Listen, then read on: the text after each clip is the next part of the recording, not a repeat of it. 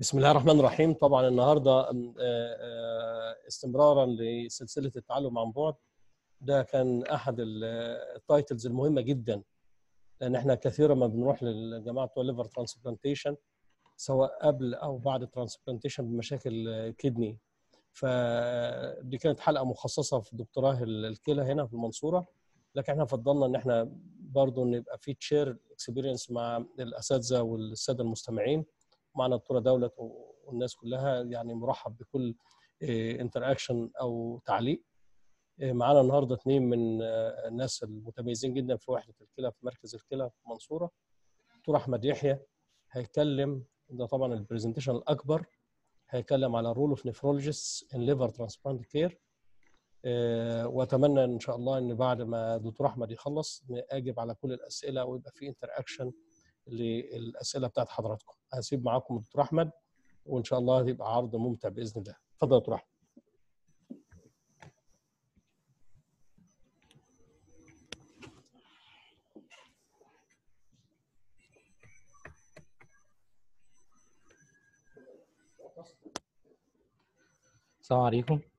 Today we will talk about role of nephrologist in liver transplant care.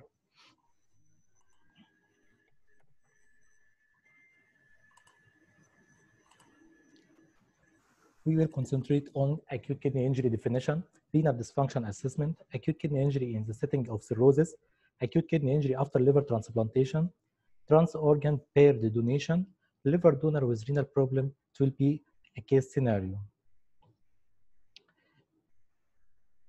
Cirrhosis is an advanced form of chronic liver disease, and it is characterized by fibrosis of hepatic parenchyma. Individuals with cirrhosis are at high risk of developing acute kidney injury, with a reported incidence of acute kidney injury about 20% among hospitalized patients with cirrhosis. The first liver transplant was early 1960. Great progression has been achieved over years to improve both medical and surgical fields, aiming to improve liver transplant outcome. Medical complications such as rejection, hepatitis B and C treatment became manageable. Acute kidney injury is one of the most common complications of orthotopic liver transplantation. The prevalence of acute kidney injury after orthotopic liver transplantation ranges from 12% to 64%. Acute kidney injury post-transplant has severe impact on early and long-term outcomes. Acute kidney injury defi definition. There is different uh, definitions for acute kidney injury. Rifle defined acute kidney injury as increase in serum creatinine, uh, increase in serum creatinine more than 50% of baseline within less than seven days. AKIN define AKIN define acute kidney injury as rise in serum creatinine 0.3 milligram per deciliter over uh, less than uh, 48 hours. Urine output is less than 0.5 milligram per kg per hour for, within more than six hours or for more than six hours. Representatives from International Ascites Club and Acute Dialysis Quality Initiatives redefined the definition of acute kidney injury and chronic kidney disease in patients with cirrhosis. They defined acute kidney injury as rise in serum creatinine 50 percent from the baseline or rise in serum creatinine 0.3 milligram per deciliter in less than 48 hours. Hepatorenal syndrome type 1 is a specific form of acute kidney injury. Chronic kidney disease is defined as persistent estimated GFR below, below 60 milli per minute for more than less, uh, three months.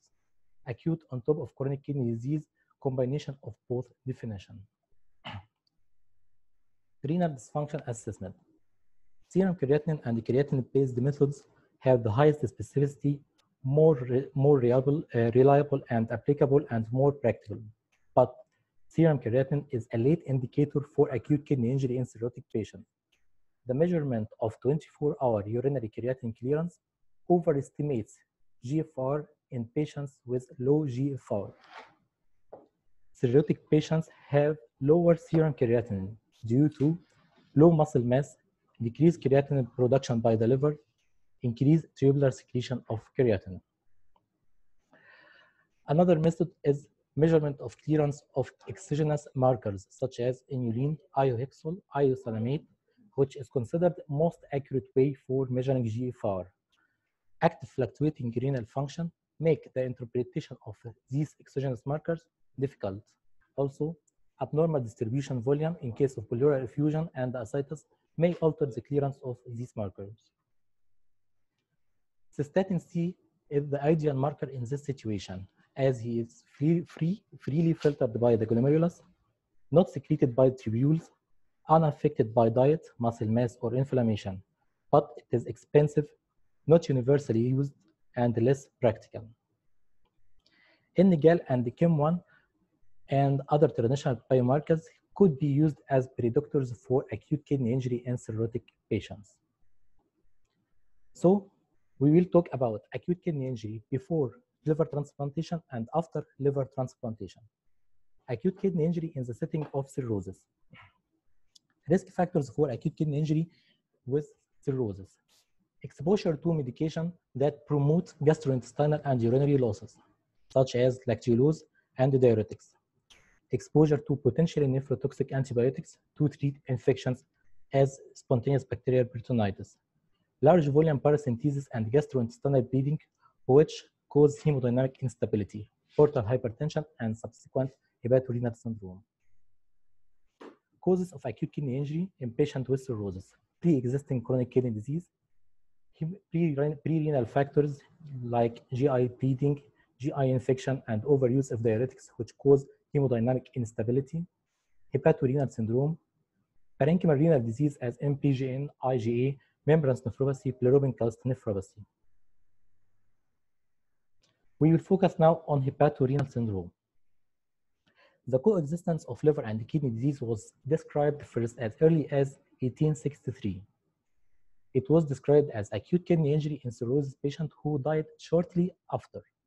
Reports described near normal renal histology on autopsy, despite the presence of severe renal impairment before this in patient with cirrhosis. This multisystemic view of different physiology, of different pathophysiology process involved in the development of renal dysfunction and hepatorenal syndrome. Reduction in renal blood flow is at the center of the pathophysiology of hepatorenal syndrome. Portal hypertension lead to overactivation of sympathetic uh, sympathetic activity and also activation of renin angiotensin uh, system, leading to reduction of renal blood flow. Enhanced vascular reactivity, hepatorenal reflex, hepatocardiorenal reflex cause reduction in, in renal blood flow also with decreased GFR. Ischemia and sustained reduction in renal blood flow cause acute tubular necrosis at last. International Club of Ascites put diagnostic criteria for hepatorenal syndrome in 1996. Major criteria and minor criteria. Major criteria, end-stage liver disease or advanced liver disease with portal hypertension, rise of serum creatinine more than 1.5 milligram per deciliter, or creatinine clearance less than 40 milli per minute. Doubling of serum creatinine to 2.5 milligram per deciliter within two weeks no sustained improvement in kidney function after one and a half liters of IV volume expansion with normal saline and diuretic withdrawal. Absence of shock, absence of nephrotoxic exposure, absence of overt proteinuria, and normal kidney ultrasound. Minor, criteria include urinary sodium less than 10 milli equivalent per liter, urine volume less than 500 milli per day, urine osmolarity greater than plasma osmolarity, absence of overt hematuria less than 50 RBCs per high, high power field and serum sodium less than 130 milliequivalent per liter. In 2007, this criteria was modified as overt hematuria was added to the major criteria. In 2015, they redefined acute kidney injury as incre as increase uh, in serum creatinine two times from baseline. Treatment of hepatorenal syndrome includes vasoconstrictor therapy, IV albumin, combination of midodrine and octreotide, noradrenaline, transjugular intrahepatic portosystemic shunt, and liver transplantation. Multiple controlled studies compared the different treatment strategies for hepatorenal syndrome, and they concluded that terlipressin is better than noradrenaline or dopamine. Terlipressin infusion is preferable than bolus. Midodrine and octreotide combination is associated with better outcome than noradrenaline or any of them alone. So we have now patient with renal dysfunction and cirrhosis or advanced liver disease. How to deal with this patient? First, to remove the offenders, stop diuretics, stop lactulose, stop non-steroidal. Then, volume expansion by IV albumin for three days. If serum creatinine decreased, okay, monitor, no further action will be taken. But if serum creatinine is stable or increasing, so it is volume unresponsive hepatorenal acute kidney injury. In this situation, we have three possibilities. It is not hepatorenal syndrome. It is definite hepatorenal syndrome. It is possible hepatorenal syndrome. If there is RBCs more than 50 per power field in urine analysis and white blood cells more than 10, brown granular casts, urinary sodium more than 30 milliequivalent per liter, serum sodium more than 136 milliequivalent per liter, shock, hypotension, or hydronephrosis, it is not hepatorenal syndrome. But if there is negligible RBCs and white blood cells in urine analysis, urinary sodium less than 10, bland urine sediment, no casts, no shock, normal echo finding, it is definite hepatorenal syndrome. If serum creatinine is stable with equivocal urine, fi uh, urine finding, it is possible hepatorenal syndrome. Okay. It is possible hepatorenal syndrome. if it is not hepatorenal syndrome, we don't have to initiate vasoconstrictor therapy. But if it is possible hepatorenal syndrome, it may be improbable hepatorenal syndrome or probable. We can consider it proper, probable hepatorenal syndrome if mean arterial blood pressure below 18, milli, 18 millimeter mercury, serum sodium below 136 milliequivalent per liter, or there is oliguria. And it will be managed as definite hepatorenal syndrome. Okay, so if it is patient with acute kidney injury, not responsive to volume expansion or no response after removal of offending drug, it may be hepatorenal syndrome or not hepatorenal syndrome.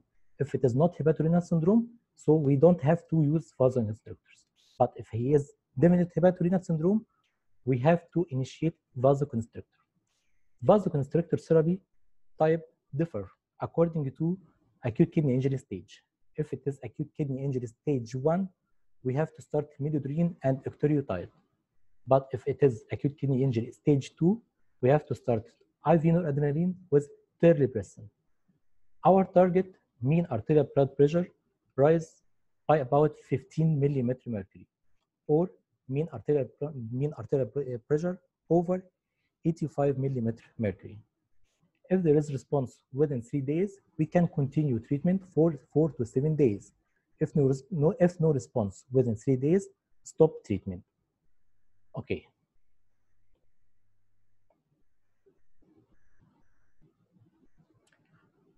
Renal biopsy in the setting of cirrhosis.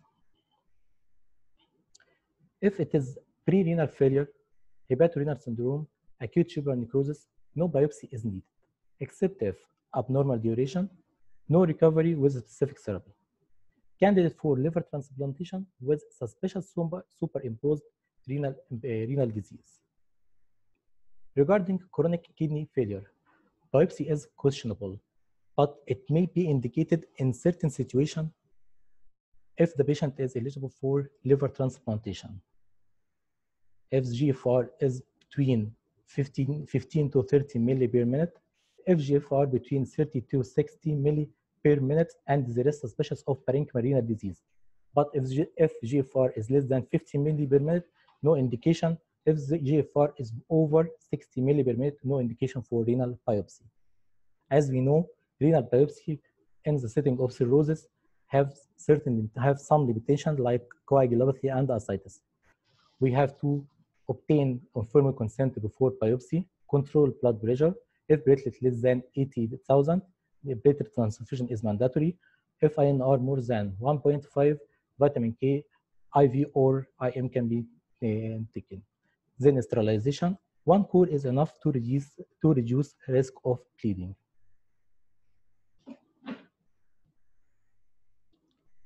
Impact of acute kidney injury pre-transplant on liver transplantation. The patient may need hemodialysis post-transplant with increased risk of sepsis, prolonged ICU admission and mechanical ventilation, shorter graft survival and patient survival, and increased cost, by the way. Now, we have patient with liver cell failure and renal impairment. When to perform orthotopic liver transplantation alone and when to perform simultaneous liver and kidney transplantation. If the patient is end-stage renal disease, okay, we can proceed for simultaneous liver and kidney transplantation. But if he is acute kidney injury, they divided them into two categories. The first category, no dialysis was needed or he was maintained on dialysis for a period less than eight weeks only. So he will be maintained, he will proceed for orthotopic liver transplantation alone. But if the duration of the dialysis or acute kidney injury persists for more than eight weeks, we have to perform renal biopsy before transplantation. If renal biopsy showed interstitial fibrosis and glomerular sclerosis over 30%, we have to proceed for simultaneous liver and kidney transplantation. But if it is less than 30%, okay, proceed for orthotopic liver transplantation alone.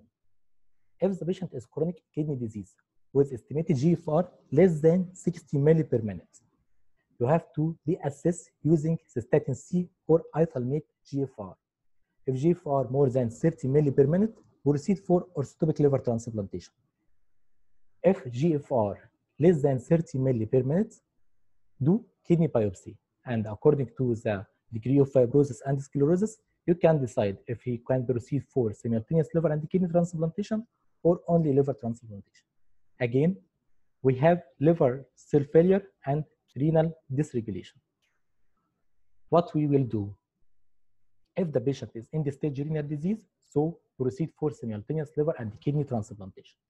But if there is acute kidney injury, if it is persistent less than eight weeks we, and no dialysis was needed, proceed for orthotopic liver transplantation alone. If acute kidney injury persists for more than eight weeks and hemodialysis was needed, proceed for kidney biopsy. If the patient is chronic kidney disease and estimated GFR less than 60 milli, first reassess using cystatin C or isosalamate GFR. If GFR more than 30 milli per minute, okay, proceed for liver transplantation alone. But if it is less than 30 milli per minute, kidney biopsy. According to kidney biopsy, you can take the decision. If interstitial fibrosis and glomerular sclerosis more than 30 milli, 30%, proceed for simultaneous liver and kidney transplantation. If it is less than 30%, for orthotopic liver transplantation alone.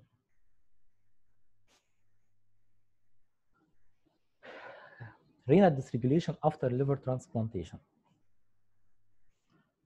Liver transplantation has the second highest incidence of renal failure requiring renal replacement therapy for solid non-renal transplants.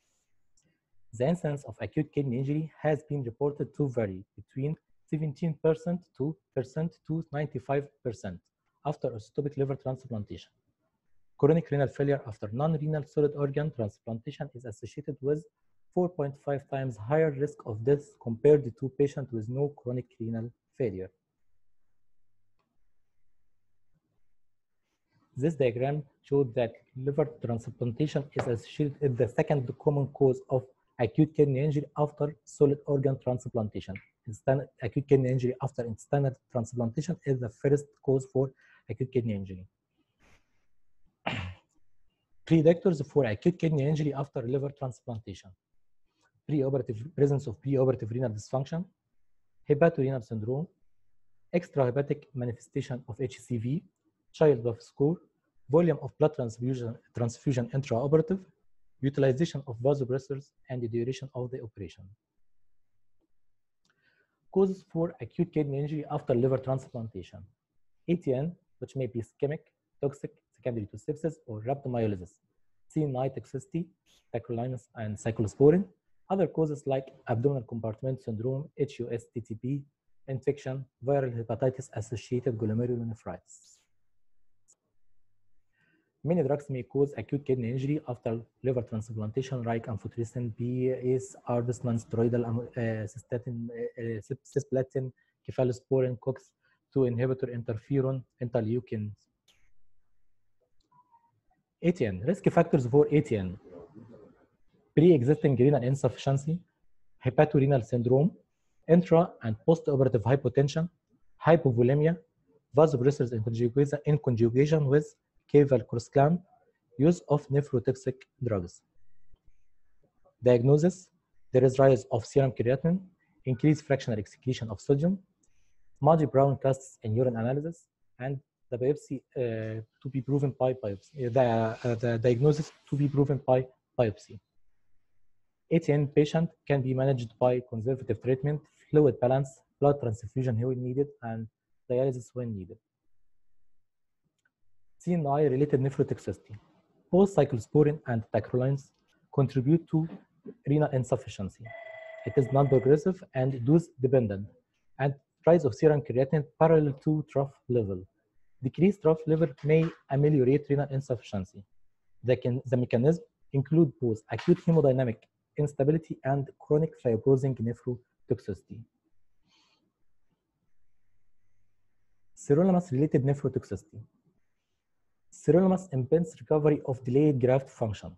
Concurrent usage of with cyclosporin increase the rise of instance of thrombotic microangiopathy. Proteinuria is now also known to be frequent adverse effect of immature therapy. The biopsy will show focal segmental glomerulosclerosis. HUS and TTP. Both cyclosporin and tacrolimus have been associated with HUS and TTP. HUS is associated with fever, hemolytic anemia, and, thrombocytopenia. TTP is associated with neurologic, neurologic changes and acute kidney injury. Diagnosis is suggested by measures of intravascular hemolysis, unrecordable haptoglobin levels, thrombocytopenia, hyperbilirubinemia evidence of end-organ ischemia, acute kidney injury, and elevation of LDH. Management include plasmapheresis and it changes the accused immune suppression. Renal histology show arteriolar and glomerular, glomerular intracapillary thrombosis with accumulation of fragmented erythrocyte within capillary lumen and focally ischemic and congested glomerular tuft.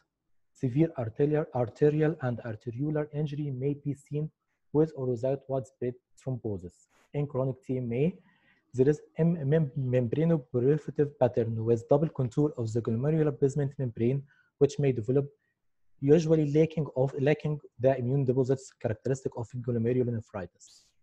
So there is no immune deposits. Regarding abdominal compartment syndrome, 32% of liver transplant show increased intra-abdominal pressure above 20 to 25 millimeter mercury, which cause decreased renal blood flow and impair renal venous drainage, thus affecting graft blood flow and cause prolonged ventilation. Diagnosis will be made by urinary bladder manometer, and it can be managed by frequent measure, measuring and exploration when needing. Infectious complication. Infection lead to sepsis, shock, and renal impairment. Epstein-Barr virus has been reported to cause acute kidney injury after liver transplantation. Epstein-Barr induced post-transplant lymphoproliferative disease may infiltrate the kidney. John Cunningham and BK polyomavirus rarely cause hemorrhagic cystitis and acute kidney injury in liver transplant recipient. It can, be, it can be managed by the proper use of antibiotics and antiviral. Viral associated, viral hepatitis associated glomerulonephritis. MPGN is related to hepatitis C infection, while membranous is associated with hepatitis B infection. IgA nephropathy can occur secondary to viral hepatitis. The condition may be associated with crescent, non-nephrotic range proteinuria, hematuria, full-blown nephrotic syndrome, or renal impairment. And it can be managed by antiviral drug and proper immune suppressive agents. CKD after liver transplantation. Liver transplant recipients may develop CKD at higher rate than heart and lung transplantation, with cumulative incidence of 22%. Children and adults are at high risk. Pre-existing renal disease, post-transplant diabetes, CNI use are risk factors for CKD progression. Development of CKD is associated with high mortality rates and short survival. Renal biopsy after liver transplantation. There is debate about renal biopsy for liver transplant recipients. Some authors su suggested that the biopsy results will be predictable and the treatment plans will, will not change according to biopsy result or will change in minority of the patient. So renal biopsy didn't affect the long-term survival. On the other hand, other authors suggested that kidney biopsy is safe and effective method for determining the cause of renal impairment after transplantation. And management of the patients based on the results of kidney biopsy may improve renal outcome. Patient underwent pre-transplant continuous veno-venous hemodialysis showed good outcome when compared to no renal failure patients. Intraoperative CRRT may be a valuable adjuvant therapy for those with preoperative acute kidney injury. Prolonged post-transplant hemodialysis is associated with poor survival rates. Peritoneal dialysis has been shown not to affect the hepatic graft, even if in case experienced peritonitis. Trans-organ paired donation. If we have kidney donor, but he is not suitable for kidney donation, and liver donor, but he is not suitable for liver donation, can we exchange the donors? We know about the paired donation for kidney for kidney transplantation, but this is uh, some authors suggest that trans-organ paired donation is not ethical, as there is unbalanced donor risk, as liver donors are associated with more blood transfusion, uh, delayed recoverability, and more mortality rates than kidney donors. So it is not ethical to do trans-organ paired donation. Now we will talk about a liver donor with renal insult, and this is the last part of our lecture. It will be a case scenario. He was a 32 Faculty of Medicine member, potential liver donor to his father. During routine investigation for donation, renal ultrasound revealed increased echogenicity of renal parenchyma and serum creatinine was 1.2. So they referred him to us for evaluation and they asked us if he is suitable for donation or not. When he came to us, with medical history was irrelevant, surgical history was irrelevant, serum creatinine was 1.3 and 24-hour urinary protein was less than 0.5 gram per day. Renal ultrasound was normal size and shape with bilateral grade 1 echogenicity. In spite of high a normal renal, uh, um, high normal serum creatinine, we decided to do renal biopsy before taking the decision. Renal biopsy revealed chronic tubulointerstitial nephritis, so there was a pathology in the kidney. So our final decision was no, we are not accepting this accepting this donor as a liver donor. Thank you.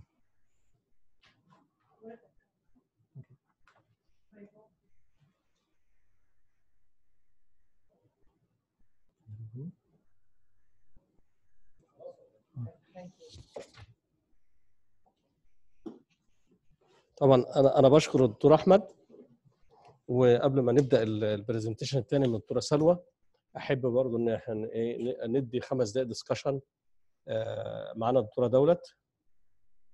اتفضلي يا دكتورة دولت. ميوتد كده؟ آه اتفضلي يا باشا اتفضلي. يعني هو آم، يعني يعني medical student مش عارفة ليه جاله interstitial nephritis يعني. He he on some uh, sort of non-steroidal anti-inflammatories ولا حضرتك حضرتك تقصد الدونر اللي كان جاي؟ اونر آه. الدونر ما. كانش ما كانش ميديكال ستودنت ده كان مدرس في الكلية. ال- فهو آه، إحنا إحنا كان ال هشيل المايك أهو اتكلم جاله من إيه؟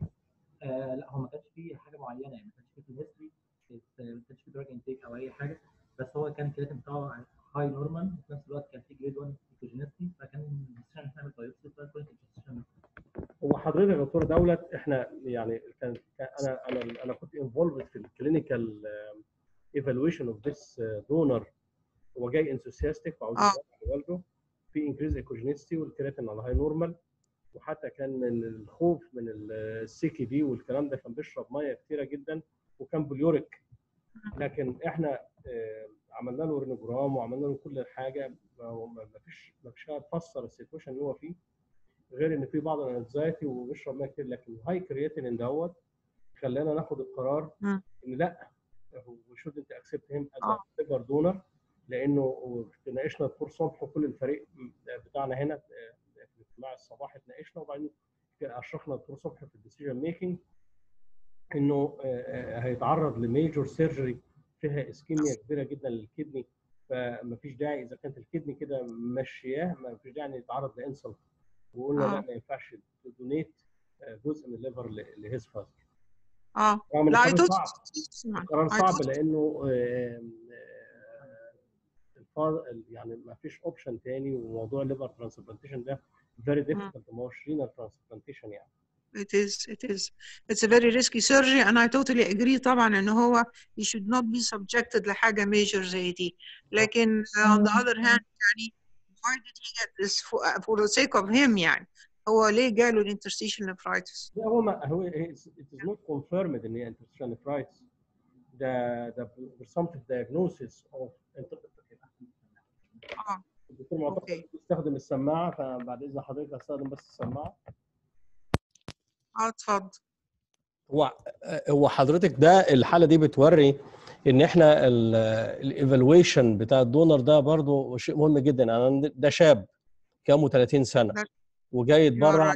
بوان اوف بجزء من الليفر لهيز فازر اللي هو سيروتيك فأنا عندي آه. هنا عندي هنا ده فيري ديفيكالت ديسيجن في ايثيكال بوينت هتسيب الراجل اللي هو الليفر سيروتيك ده ودوت ليفر ترانسبلانتيشن ومعروف ال- القصة لكن لكن طبعاً. اعتقد من الايثيكال بوينتس ان إحنا الدونر ما يبقاش ان هارم لا ده وخاصه ان هو ال ال طبعا يتعرض لاسكيميا فاذا مم. كانت الكدني دي بوردر لاين أنا هنا ما يعني م- مش هقدر آه، ابروسيد إحنا عندنا كان استادت عملناها في الكدني دونرز للريلاتيف انكريز اوكوجينيسيتي وطلع فيه باثولوجي سيجنيفيكانت في الكدني شوية فاسكولار وشوية جلوميرولار وشوية تيوب انترستيشيا فإنكريز ايكوجينيسيتي مع هاي سيرم كرياتينين على الهاي نورمال ما كانش طبعا آه. امبيرد ده إيه، إيه، ما كانش فيه بروتونوريا فعملنا له اشورنس قلنا له أنت كويس بس ما نقدرش نديك جارانتي إن أنت تبروسيد فور ليفر دونيشن That's right, that's right. إحنا حتى لما في الكدني ترانسبلانتيشن لما بنتكلم مع الدونر نقول له إحنا بنخاف عليك يمكن أكتر من الريسيبينت لأن أنت راجل نورمال يعني ما نقدرش نعرضك لأي ضرر. This is the يعني الاثيكال كونسبت بتاعنا يعني فما بالك لما يتعرض بقى لميجر سيرجري زي آه، إنه ياخدوا جزء من الليفر بتاعه. You are perfectly right طبعا آه. unfit. انفيت تماما للاسباب ديت وهو اقتنع في الآخر بال بالجروب آه. ديسيجن وده مم. حاجة كويسة إن يبقى في كروس توك ما بين النفرولوجيست وبين الهيباتولوجيست إنه يبقى في كولابوريشن بحيث يبقى سيفتي بروسيجر تتعمل لأنه هي يعني ما فيش فيها شك إن الليفر ترانسبلانتيشن من الدونر والريسيبنت سايد عملية كبيرة أكبر بكتير جدا من الرينال ترانسبلانتيشن That's right. ال- آه، ال- هو قال إن لما يحصل كدني فيلير بوست ليفر ترانسبلانت هو يرجح الفرق بين الكونتينيوس ثيرابي أو الريبيتد هيمودايليسيس which is preferable في رأيه؟ إحنا إحنا حضرتك الدكتوره سلوى هتتكلم على السي ار ار تي في الليفر آه،. ترانسبلانت كير آه أعتقد إن هي هتتكلم على البيري ترانسبلانت لأن إحنا ما كناش بنعمل يعني الإجابة المباشرة على سؤال حضرتك أنا لو حصل بعد فترة من الليفر ترانسبلانتيشن رينال امبيرمنت أو رينال ديسفانكشن وبعدين تطورت لاند ستيج كدني ديزيز ان ليفر ترانسبلانت ريسيبيانت أنا هعمل له انترميتنت دياليسيس مش هعمل له سي ار ار تي لكن السي آر آر تي وقتها وقتها حضرتك زي ما الدكتوره سلوى هتقول في الوقت الدرامي اللي أنا عندي هيمودايناميك كومبرومايز وهايبوتنشن سواء في البيري بيري ترانسبلانت بيريود لكن أنا افتر. ترانس ليفر ترانسبلانتيشن مع لونج تيرم فولو اب واكيوت رينا وكرونيك كيدني ديزيز بسبب كالسيوم انهبيتورز أو وات ايفر ذا ريزون جه بعد الترانسبلانتيشن أنا هتعامل معاه كأنه كرونيك كيدني ديزيز عادي يعني يبقى ما يخص الدياليتيك موداليتي يس يمكن الدكتور أحمد تطرق للديفينيشن الجديد بتاع الهيباتوريان سندروم مقالة النيتشر اللي نزلت في مارس ال- ال- الشهر ده الشهر اللي فات يعني. وحاطين فيها شوية آه. حاجات أنا شايفها جميلة يعني رغم إن هي ما غيرتش كتير قوي من الاساس كلاب دايجنوستيك كرايتيريا لكن أنا أحب عشان اللي معانا في ال... واللي هيسمعونا بعد كده آه، ما نحطش ختم الهيباتوريان سندروم لحالة كويري أو يعني حالة مشكوك في أمرها. يمكن الوقت بقى من من كام سنة بدأ البايو ماركرز دورها يبقى واضح ال- المهام. يعني المالتيبلست المالتيبل بايو ماركرز مع فراكشن اكسكريشن اوف صوديوم بالمناسبة لو اتحط سؤال ام سي كيو إيه الستيت اوف اكوت كدني انجري اللي يبقى فيها الفراكشن اكسكريشن اوف صوديوم أقل ما يمكن يعني. معناها إن الرينال تيوبيولز تبقى ايفيدلي يعني شرهة في ابسوربشن للصوديوم هو الهيباتوريان الهيباتوريان سندروم ممكن يبقى ينزل تحت الواحد من 10% مش تحت الواحد في المية. لكن هو مع المالتيبل بايو ماركر زي الإنيجال والكلام ده بدأ يخش في الجايد لاينز وكل ما زاد البوزيتيفيتي بايو ماركرز كل ما كان الدايجنوز اي تي ان راذر ذان هيباتوريان سندروم الحاجة Right. الثانية ما فيش حاجة اسمها هيباتوريان سندروم في عيان ما فيش فيه اسايتس ودي كانت ما فيش حاجة اسمها هيباتوريان سندروم مع ليفر انلارجد ليفر يعني لازم أقول ده ممكن يكون اكوت ليفر فيلير مش مش اند ستيج ليفر ديزيز وجاي بهيباتوريان سندروم ال- الحاجة اللي بعد كده الهايبر تنشن لو أنا عند عيان ليفر سيروسيس وجاي بمانيفستيشن اوف اند ستيج ليفر ديزيز وجاي الميمبرانت سيفير هايبر تنشن لابد أراجع نفسي 100 مرة قبل ما أدي ختم إن ده هيباتوريان سندروم ويبقى ده ممكن يبقى اوريجينال آه. يبقى ده انترنسيك رينال ديزيز ان اسيروتيك بيشنت الحاجة الثانية. والجميلة اللي قالها أحمد وأنا بشكره عليها إنه وضح الليميتيشنز للرينال فانكشنز الاسسمنت أنا عندي الكرياتين ده از ا بور ماركر فور كدني فانكشن أو يعني مش مش دقيق في ال في الادفانسد ليفر سيل فيلير لأنه المصل بتبقى آه. ضعيفة والفوليوم ديستريبيوشن هو تطرق لهذا الكلام والبلوروبين حتى ساعات آه. بينترفير مع الكرياتين تيستنج فالقصص دي كلها. تتحط في الحسبان يبقى اذا إن الدكتور أحمد آه، ألقى الأضواء على دور النفرولوجيست في تحضير الترانسبلانت كانديديت وتقييم لو في أي كلينيكال رينال مانيفستيشنز في الدونر الليفر دونر وبعدين. الاكيوت كدني انجري واللي هو متوقع بحدة في الفترة بتاعه الترانسبلانتيشن. وبعد كده مشاكل الاميون سبريسيف دراجز وإحنا كثيرا ما بنتناقش مع دكاترة الهيباتولوجي. وبنشوف العيان جاله بروتونوريا عاوزين نعمل بايوبسي عاوز فالكلام ده كله في في طبعا ديسكشنز وحاجات زي كده. الكالسيوم انهبيتور طبعا دورها معروف منذ القدم إن هي واحدة من الكومن كوزز اوف كورونيك رينال فيلير بعد الليفر ترانسبلانتيشن فبرضه المانيبيوليشن اوف امين سبريشن برضه از ان ارت وساعات بنعمل يعني يبقى ديسكشن ما بيننا وبين الهيباتولوجيست نشوف القصة ماشية إيه. ما ننساش إن الايتيولوجي بتاع الليفر سيل فيلير ممكن يبقى متداخل في الايتيولوجي بتاع الكدني ديسفانكشن زي الهيباتيتس سي وغيره. هيباتيتس سي آه. حد. عاوز الدكتورة صفاء عاوزة تتكلم؟ اتفضلي. دكتورة صفاء كان رفع ايديها. أي حد عاوز يعمل تعليق أو كومنتري أو يضيف حاجة إحنا بنرحب بأي كومنتس اتفضلي دكتورة صفاء اتفضلي.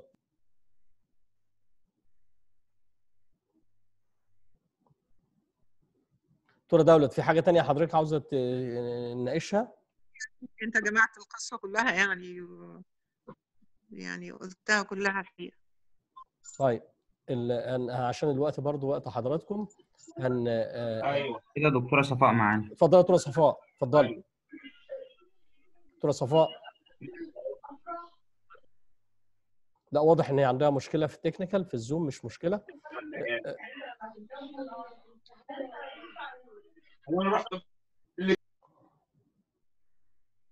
إحنا هن هن هنبروسيد للمحاضرة اللي جاية. المحاضرة الجاية طبعا أنا بشكر الدكتور أحمد آه، يحيى على تصديه لهذا الموضوع. فيري ديفيكالت توبيك طبعا في النفرولوجي ان جنرال وبقى في ايثيكال دايليما كبيرة جدا. يمكن أحب برضو أشارك مع الدكتوره دولت آه، مشكلة هنا. الدكتورة دولت لسه معايا؟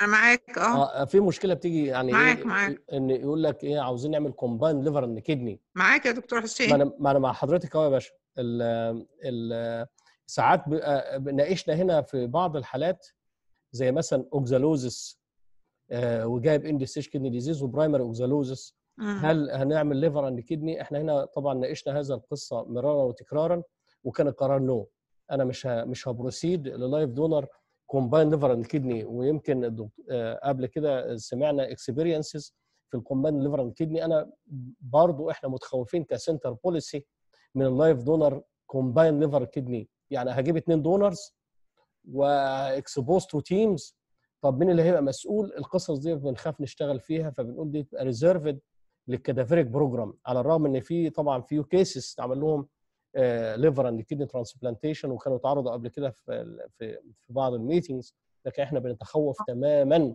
من كومبايند ليفر اند كدني ترانسبلانتيشن حتى الجهاز الهضمي عندنا مثلا يقول لك ما إحنا نزرع ليفر وانتوا تزرعوا كدني وتبقى حتى لو تو دونرز أو 1 دونر يعني قصة. لا أنا هوافق على 1 دونر آخد منه كدني وحتة من الليفر ده هتبقى فيري ميجور سيرجري ولا ولا هقدر أشارك في كومبايند تو دونرز آخد من واحد ليفر وجزء من الليفر وواحد اخد منه كدني فمتخوفين تماما واعلنا إن إحنا إيه أصغر من هذا الشأن ومحتاج اكسبيرينس أعلى من اللي إحنا نعرفه. ما أعرفش راي حضرتك إيه في القصة دي؟ I think آه I think اللي عندهم اكسبيرينس كويسة في دي الأطفال أبو الريش. زرعوا حالتين في مستشفى وادي النيل بس بس حالات قليلة حالات قليلة جدا وال. الكومباين ليفر دكتوره ده فاتينا كانت يا ريت لو هي معانا عليهم. لو كانت معانا كنا على العموم أنا هتحاور معاها بعد ال- ال- الحلقة ديت وهسألها على الاوت كام بتاعهم وممكن نبقى نضيفها لكن نضيفها ككومنتري على الفيديو على اليوتيوب إن شاء الله. اتفضلي يا دكتورة آه ده ديزيز دونيشن طبعا دي فيزبل جدا يعني.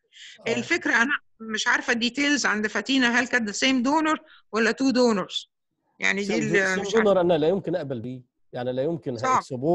لا يمكن اكسبوز أم آخد منها آخد منها كدني وبعد ما وبعد ما وآخد آه. منها جزء من الليفر ده هتبقى اكسبوز الميجور سيرجري ما يعني آه، وال- والعواقب لسه. تبقى خيمة طبعا فطبعا طبعا. قصة قصة حضرتك توافقيني يعني ولا ولا ولا ممكن طبعا from the same living donor دي صعبة جدا. From disease it's very feasible و doable يعني. لا فنسأل سيم دونر مستحيل أوافق عليها. حتى لو لو لو اتعملت في أي مكان. أنا ما ما ما أقدرش.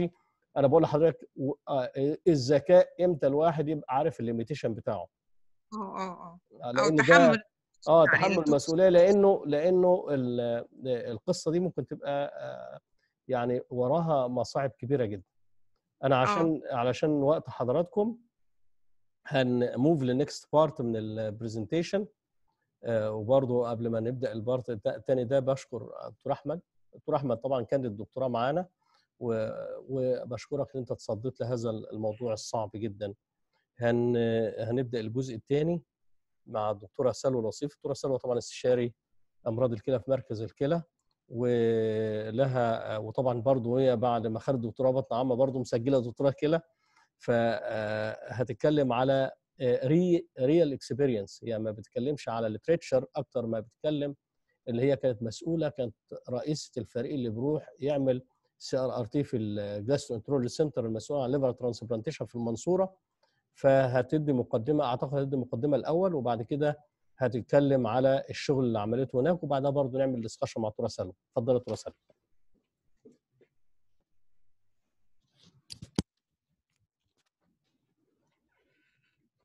بسم الله الرحمن الرحيم.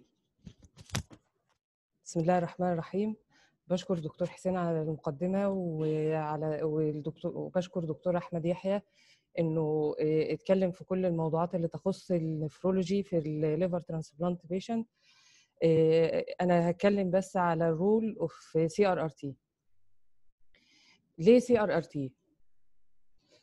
لأن العيان الليفر ترانسبلانت بعد ال- أثناء أثناء العملية اللي هي عملية الليفر ترانسبلانتيشن أو بعدها بيبقى آه، آه، آه، some sort of hemodynamic instability بيبقى لأكتر من سبب منها لو حصل هيموريدج أو بلاد لوس انترا اوبراتيف أو لمجرد وجود أورجان كبير زي الليفر وبيحصل بلاد شيفت للأورجان دوت فبالتالي بيحصل هايبوفوليميا أو على الأقل ترانزيانت هايبوتنسيف ابيسود طيب مش بس كده ده كمان السي ار ار تي ده بورتابل اباريتس ممكن نستعمله من غير ووتر سورس يتعمل في الاي سي يو عادي. البريسكريبشن بتاع السي ار ار تي بيحتاج آه، كذا نقطة منها البلاد فلو الدوز المود إذا كان سستيند لو افيكاسي إذا كان سكاف سلو كونتينوس الترا فلتريشن أو هيموداياليسيس أو هيمو دايفلتريشن مش بس كده ده السبستيتيوت فلويد دوت له أكتر من طريقة الدايليزيت فلو الفلويد ريموفال او الفلويد اديشن اند الانتي كواجوليشن تمام ال آه، as regard the blood flow in CRRT we need to be slow continuous therapy so the blood flow ranging between 50 to uh, 150 milli per minute. As regard dose of uh, effluent fluid is ranging between uh, 20 to 40 milli per kg per hour and uh, the ideal one or the standard one is 25 uh, milli per kg per hour and this point will be discussed thoroughly later on. As regard the mode of CRRT,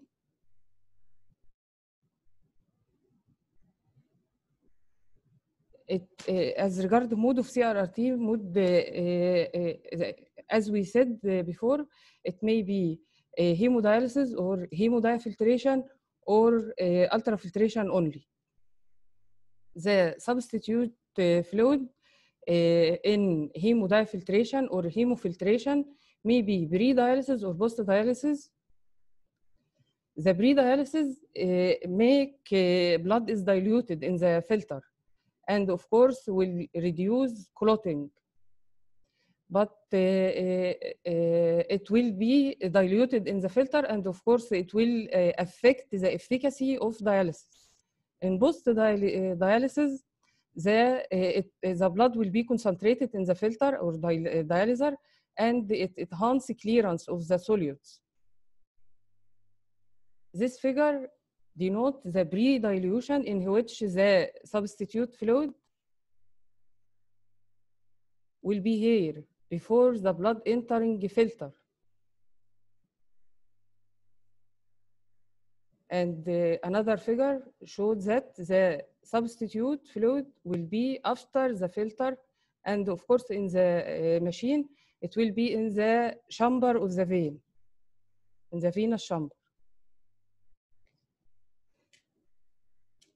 adverse effect of uh, CRRT uh, it may cause electrolyte disturbance uh, so it may uh, of course uh, it needs frequent monitoring of the electrolytes it may cause bleeding if the amount uh, of heparin or anticoagulation used is more than needed or may filter the, will be clotted and need to be exchanged during the session. Also, CRRT may uh, need frequent drug dose modification. In comparison to intermittent hemodialysis, CRRT is portable, need no water source. CRRT is easy for uh, ICU nurse or any nurse. Uh, uh,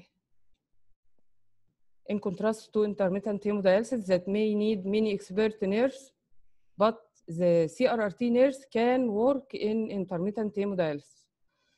CRRT uh, used in hemodynamic unstable patient, while intermittent hemodialysis need the, uh, uh, good uh, blood pressure and it uh, it can be used as a SLID اللي هي sustained low efficacy dialysis.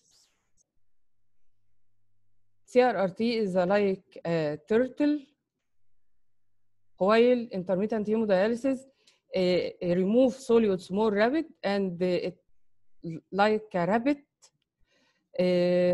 and this may cause brain edema. But the turtle is the first in pre-renal uh, uh, in acute kidney injury post uh, liver transplantation. There is 100 years of service uh, as regard to hemodialysis, starting from this old machine to this machine and finally the home machine. We need both hemodialysis, uh, uh, both modalities, CRRT and uh, intermittent hemodialysis, like that uh, animal, I don't. We need both of them, and I, uh, I suggest to use a SLED in, uh, in absence of a CRRT uh, machine. But of course, a SLED technique need a water source and the RO unit. This is this uh, case scenario. Uh, we uh, always face something patients like that.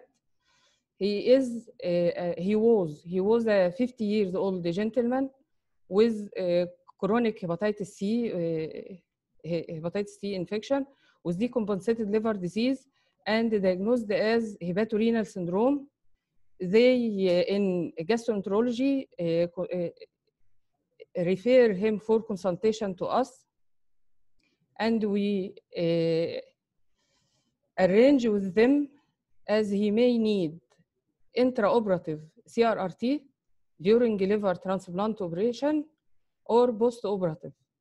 And we prepare a, CRRT machine and team to be dialyzed either during a, session, during a transplantation operation or after transplantation operation. Actually, he has uh, no, he didn't need uh, intraoperative CRRT and post-operative uh, due to he had a massive blood transfusion during the operation with a, a- a blood transfusion, a huge blood amount of blood transfusion using both uh, cell saver and compatible blood transfusion. There was a transient uh, uh, episode of intraoperative hypotension. Uh, finally, he was anuric and CVP ranging between 5 to 10 millimeter mercury. His CRRT prescription start we choose uh, HDF hemodiafiltration with blood flow 50 milli per minute as regard he, he was hemodynamically unstable. Uh, the dialysate fluid was uh, 1,300 milli per hour and substitute was 100 uh, 5,000 milli per hour.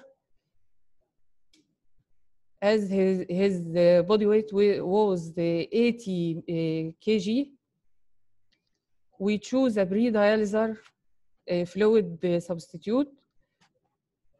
And he, because he was heparin free, the fluid temperature was the 36.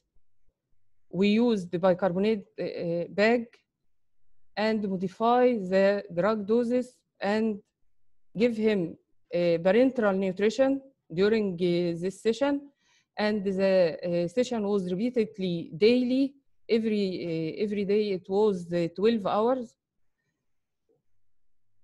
And with monitoring of uh, this patient, after one week, he had good urine output and start CNI his CNI uh, uh, actually was postponed till appearance of good urine output. And he was discharged on serum creatinine 2.3 milli per DL. As regard the guidelines for CRRT, the last KDIGO guidelines that was published in International Society of Nephrology uh, supplement اللي هي Kidney International. Uh, these guidelines uh, give us the recommendation for decrease effluent fluid from 35 to 25 milli per kg per hour. Also, they suggest use of bicarbonate more in liver transplant patient, and this is of course the, uh, due to the hepatic status of our patient. Uh, and the nutrition of patient during uh, dialysis. Also, they uh, choose the, the, uh, to use enteral nutrition as early as we can. Thank you. شكرا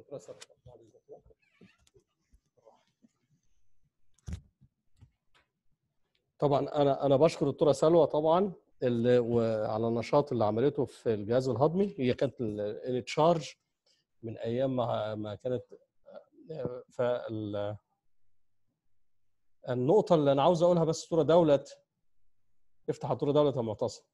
أنا سألت الدكتورة فاتينا آه. سألت الدكتورة فاتينا على الإكسبيرينس بتاع كومباين ليفر اند كيدني فطبعا هم بيعملوها. آه، وعندهم اكسبيرينس في سبع حالات عملوها في وادي النيل وحالة في القصر العيني. لكن زي ما قلت لحضرتك كده إحنا إحنا ما نقدرش ما نقدرش عليها أو خايفين خايفين حتى نتعاون مع الجهاز الهضمي جنبنا.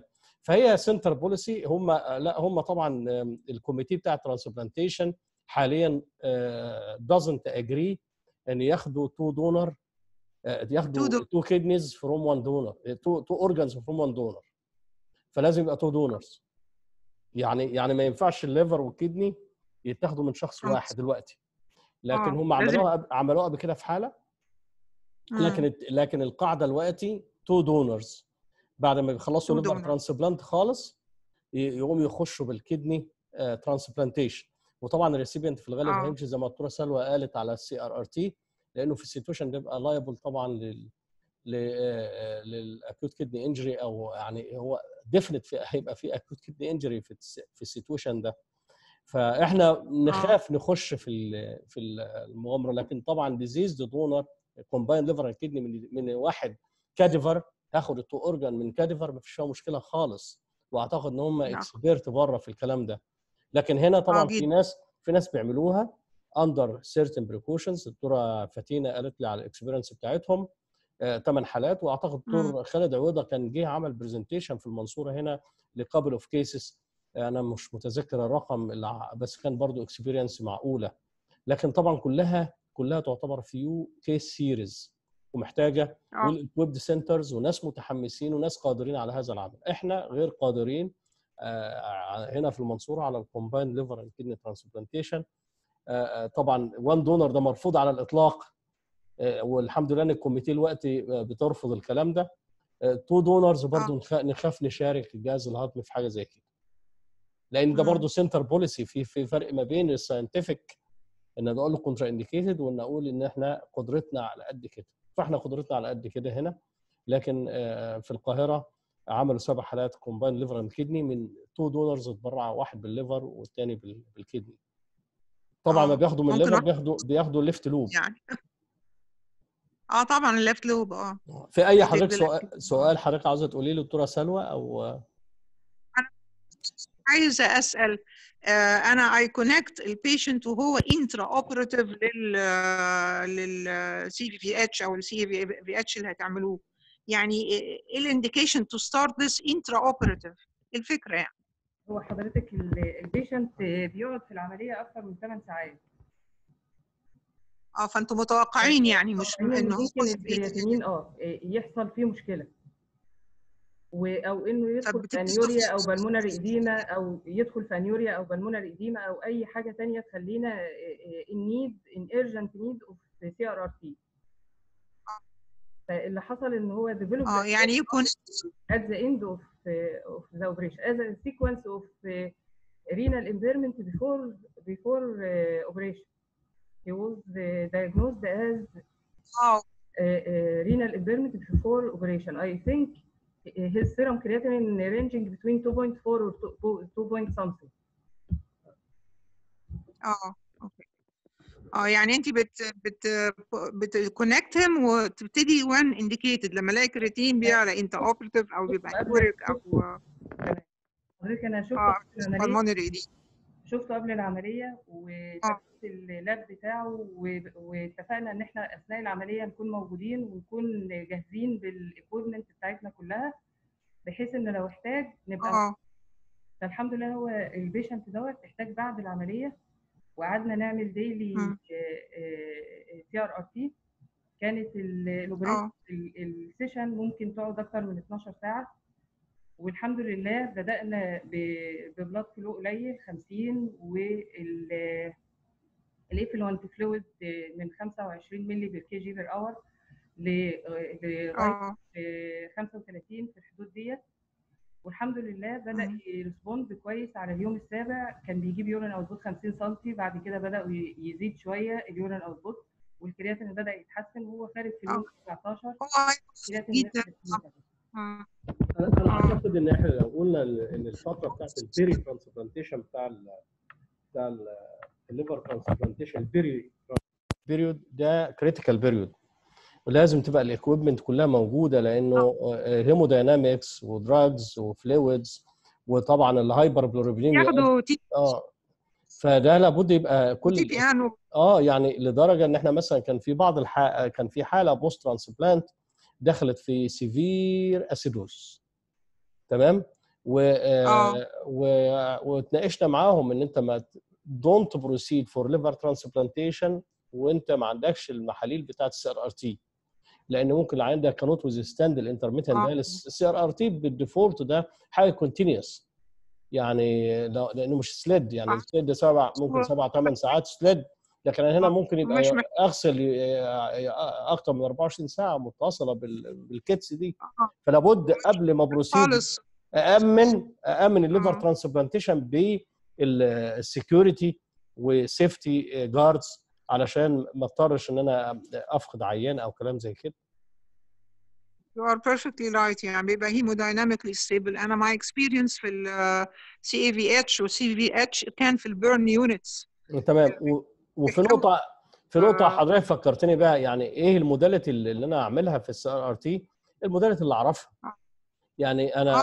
أنا كنت في 2008 2009 في هارفارد كان اللي بيعمل أيوه. السي آر ار تي بتوع الآي سي يو طبعا ما كانش ما أقصدش السي آر ار تي في الليفر ترانسبلانت ان جنرال اللي بيعملها بتوع الآي سي يو in general آه آه بيعملوها بالظبط وان موداليتي حتى لو عندهم لو عندهم الماشين تعمل جميع الموداليتيز هي في موداليتي هم اتعودوا مم. عليها وبيعملوها وبيتقنوها وتناسب البيشنت الهيموداينامكس اتس آه. أوكي لكن مش الشطارة إن أنا أعرف 100 حاجة وما أعرفش أعمل حاجة كويس فأنا آه. بتق- بتقن موداليتي وأشتغلها لا، لا. الجولز بتاعت الشغلانة والله إحنا كنا بنشتغل كنا بنشتغل بالفلتر والكونكت الكونكتنج لاينز فقط. ممكن استعملها السي اي بي اتش لو اي. كنت ذا ارتري كنا بنخش في الارتري أو لو فينوس واستعمل بلاد بامب صغيرة.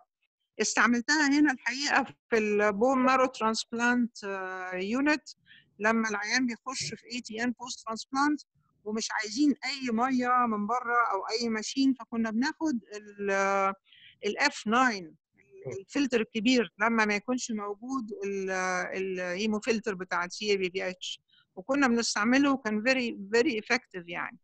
ف used to use the simple methods. ما كانش في الجهاز بتاع الدكتورة سلوى ده.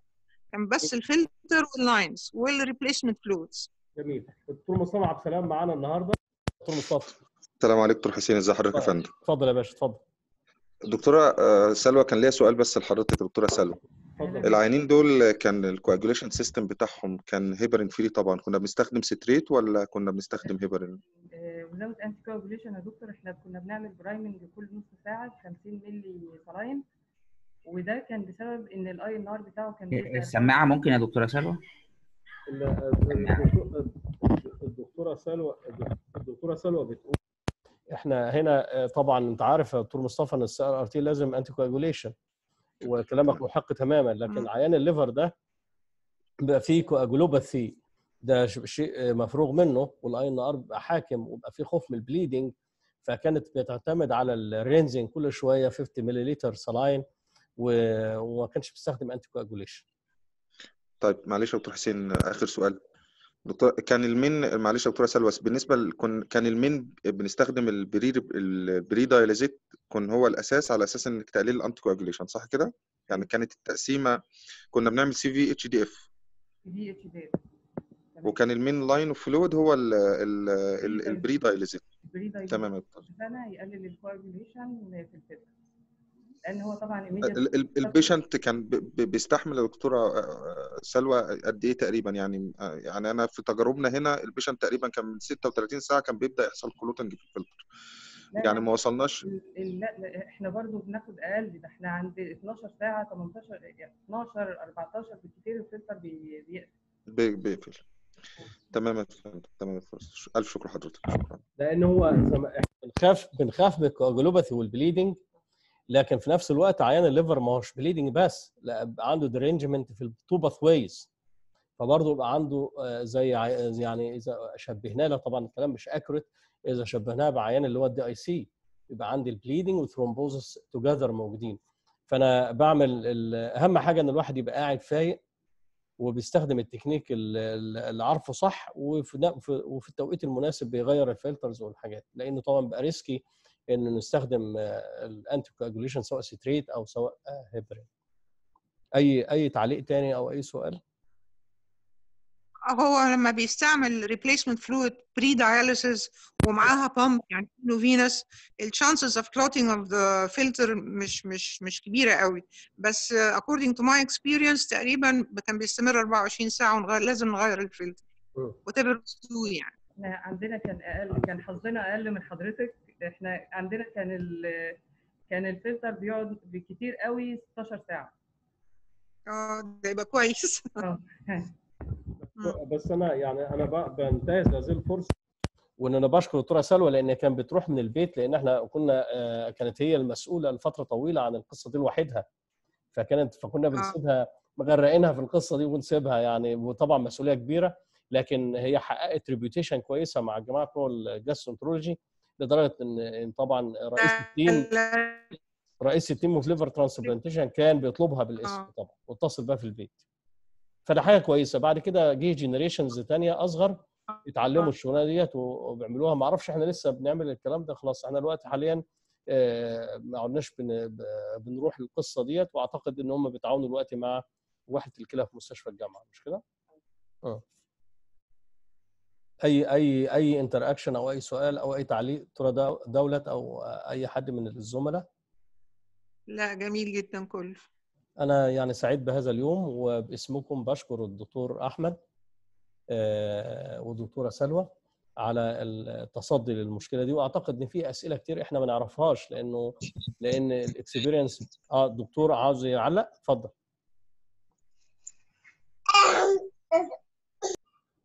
طيب إحنا علشان الوقت بتاع حضراتكم بنشكركم ونتمنى لكم كل التوفيق والسداد والسلام عليكم ورحمة الله وبركاته.